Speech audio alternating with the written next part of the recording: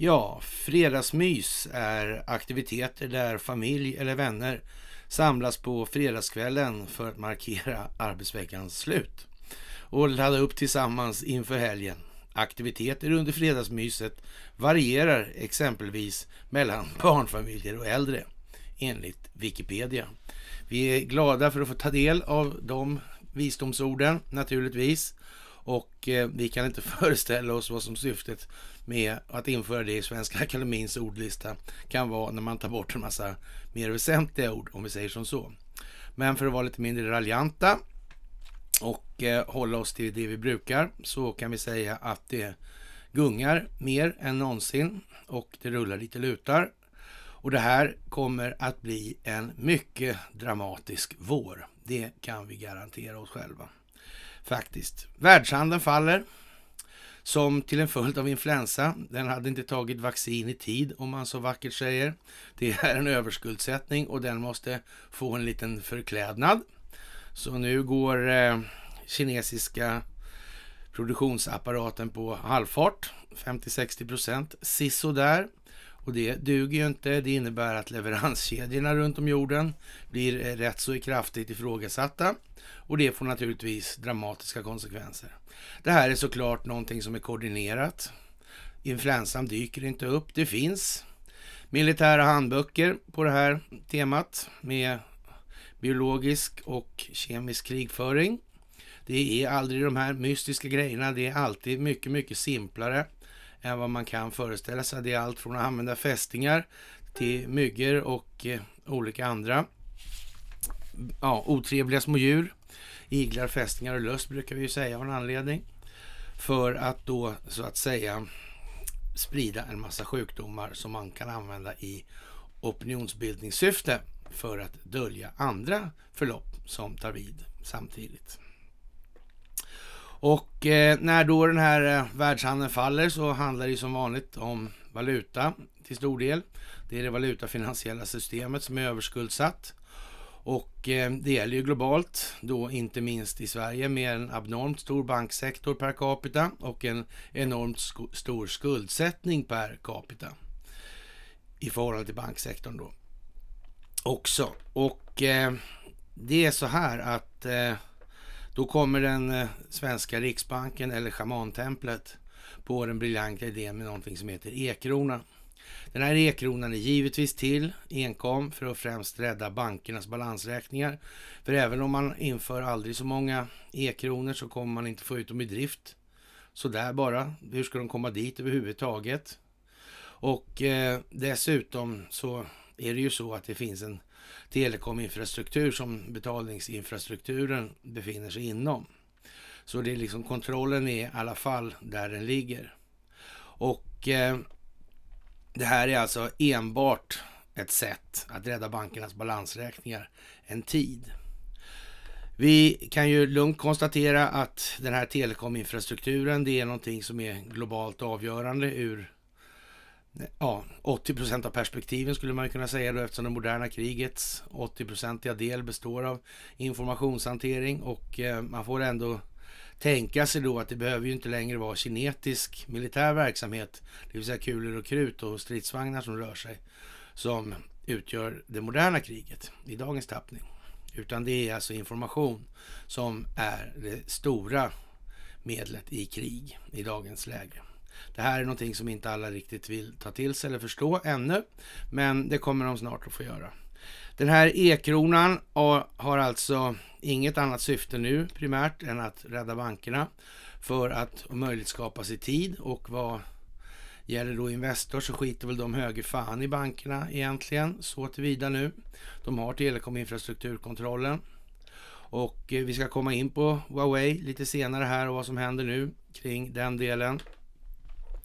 Men eh, det hela kokar ner till nu att vi hamnar i situationen med en diskussion som där vi måste bestämma oss för vad ägande egentligen är för någonting. Det är liksom en tanke som inte riktigt har landat hos alla. Vad är det där för någonting med ägande? Ägande är ju egentligen bara en begränsning av alla andras rätt till någonting. Det är ju vad det är i grund och botten. Men det lite komiska i det här läget är att nu har anarkister då börjat skrika att eh, skatt är stöld. Och det här är ju en helt makalös paradoxal grej alltså. För egentligen är det så här att när Proudhon som är då grundare till anark eller anarkismens, ja den klassiska anarkismens fader då, han sa, han sa ju liksom tvärtom. Han sa så här att egendom är skuld alltså. Att ägande det är liksom, det är stöld, det, det, det är det som är stölden alltså. Och, och, det här kan man ju undra hur det kommer sig att det har vänt på sig just här. Och I Sverige är det naturligtvis så att här är det värst, så här har nu anarkisterna börjat skrika att skatt är stöld. Så det, det tror väl fan det, men då kan man tänka sig så här att jag vet inte säkert, men jag, jag är ganska så säker i alla fall på att jag tror inte det har funnits något annat land där det enskilda ägandet har varit så utbrett som det har varit i Sverige. Och, och det här är alltså då, för att knyta ihop den här påsen lite grann. Det här handlar om Bo Jonsson Grip som är Sveriges genom tidernas mest förmögna människa. Utan någon som helst jämförelse. Och han ägde lite land kan man säga. Jag föreslår att ni slår upp honom på, ja, var ni, det var googla honom alltså så hittar ni honom. Han ägde en hel del mark kan man säga, för att vara lite återhållsam i uttrycket. Och eh, när blir egentligen ett land ett land och när slutar det vara ett land? Kan tomten vara stor för den som äger det här egentligen? Hur är hur liksom de här konstitutionella, be, själva begreppen, de grundläggande begreppen för vår betraktelse av tillvaron, när gäller de egentligen? Inom, inom vilka intervall? När börjar de och slutar de?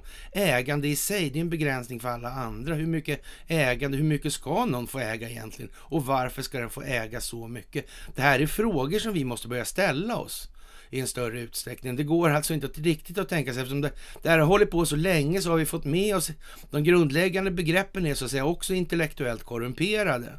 Och det här är liksom viktigt att människor börjar förstå också och ta liksom en ställning till, i alla fall ett perspektiv på saken och se vad, vad är det här för någonting. Alltså, det krävs helt enkelt lite vitterhet i perspektiv, alltså vi, en, en vidare vinkel om man säger som så, flera infallsvinklar inom ramen, ramen på samma perspektiv. Och eh, den här ekonomin är ju naturligtvis en del i det här och sen har vi då naturligtvis i Sverige då har vi den här terrorlagen som kommer in här nu och där sitter då den här jävla stollen Ranstorp då och, och skroderar om att han har hållit på i 30 år med det här som expert och det har blivit så här och så här. Så, men då undrar ju vän av ordning, men allvarligt talat om samma utvecklingsriktning i 30 år. Ja, då måste det ju varit bättre att åtminstone gå tillbaka till det man hade innan någonstans om det hela tiden blev sämre i 30 år. Eller var det möjligtvis så att den här utvecklingen hade ett syfte hela tiden? Kan det möjligen vara på så sätt? Det kan väl kanske vara det va? Men jag vet, det har också blivit konstigt därför att nu, nu börjar så att säga etablissemanget, de börjar säga så dumma saker som man tror faktiskt inte ens att det är möjligt att de är så här dumma. Och det, det verkar svårt att tro liksom på allvar att Gör de det här med flit eller var, varför, varför blir det så här egentligen? Och eh, vi kan väl i alla fall konstatera då att Magnus Ranstorp, han är alltid i tv. Och alltid i medierna. Det finns några stycken sådana där. Och eh, en Norell finns det också. Magnus Norell heter han. Och är inte släkt med psykologen. Man, man, man, kan tro det först när man tänker efter det, men eh, sen så får man slå upp det och se att det är han faktiskt inte. Så ni slipper göra den slagningen i alla fall. Jag har redan kollat. Och eh, det att det alltid är, vad, vad gör de i tidningarna för det första? Om de är terroristexperter så borde de väl hålla på med bearbetning eller bekämpning av terrorism. Hålla på med opinionsbildning i medierna ser väl inte ut som att det borde vara den främsta uppgiften för en terroristexpert. Speciellt inte om utvecklingen har gått dit hän att det har blivit sämre i 30 år. Det verkar vara något fel på arbetsbeskrivningen milt uttryckt kanske, eller nej? Jo, det tror jag. Så det är nog lite dumt det där. Och eh, vi kan väl säga att konflikterna geopolitiskt, de eh, ja, så att säga, håller på att kulminera nu. Syrien och Libyen sitter ihop nu i så att säga, en upplösning innehållande Turkiet. Och eh, i Libyen så har ju Sverige naturligtvis haft enorma intresse. Vi visste att vi måste bomba där, därför att vi måste städa efter Telub-affärer och nedskjutningar över Lockerbie och eh, i kryptografsmörjan i Schweiz och det är ett otal andra saker som gått genom Schweiz från Sverige. Och eh, då måste så att säga arkiven förstöras i Libyen också. Inte bara det här med att Gaddafi hade en idé om gulddinarer för oljehandel och sådär. Det, det, är nog den lilla grejen, för redan då var information det farliga då så att säga. I de här sammanhangen. Det finns oändligt mycket olika saker gömda i arkiven och ja, man vet ju inte. Kan det vara så att säga på en gång gjorde till exempel en massa blindspår för att förklara vad Hermann, eller så här, Heinrich Himmler tog vägen i Sverige? Om det var så att de gjorde det så undrar ju vän av ordning varför gjorde de det? Det finns många sådana här frågor som kommer att få sitt svar med tiden. Och, och det här är inga små historierevisionsbilder som, eller förändringar vi handlar om. Eller det handlar om. Det kommer att bli enorma förändringar helt enkelt. Det, är bara så. Alltså, det har ljugits om precis allting i all, alla möjliga sammanhang. Och eh, det här i Syrien och i Libyen handlar alltså om att exponera proxyfunktionen, det vill säga att man använder proxys för att göra olika saker och då blir det ju inte de reguljära enheterna. Att få reguljära enheter angripna är liksom så att säga, politiskt sett på hemmaplan. Om det dör egna soldater, då kommer den egna befolkningen att reagera och kommer att tycka att det här var jävligt dåligt, allt som oftast.